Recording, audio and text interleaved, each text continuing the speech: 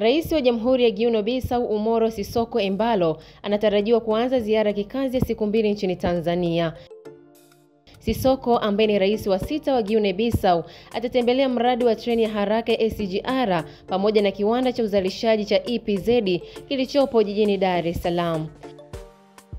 Jamhuri ya Guinea Bissau ni nchi iliyoko mashariki mwa Afrika ikiwa na asilimia 22, eneo lake ni visiwa ikikadiriwa kuwa na visiwa 77. Jamhuri ya Guinea Bissau kabla ya uhuru ilikuwa chini ya Ureno mpaka ilipopata uhuru wake mwaka 1974 ikitembea na kauli mbiu isemayo umoja, mapambano, maendeleo, huku lugha yake kuu ya mawasiliano ikiwa ni Kireno.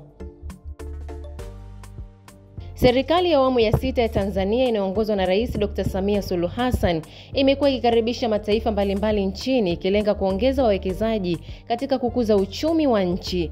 Zipo faida nyingi ambazo taifa lolote linapata kutokana na viongozi wakubwa wa nchi nyingine kutembelea taifa hilo, ikiwemo kuimarisha mahusiano ya kidiplomasia, uwekezaji wa kigeni, kubadilishana teknolojia na maarifa, kuimarisha biashara ya kimataifa na kuongeza hadhi ya taifa kimataifa, lakini pia kuimarisha usalama na ulinzi, kuboresha miundombinu, fursa za ajira na hata kuimarisha sekta ya utalii.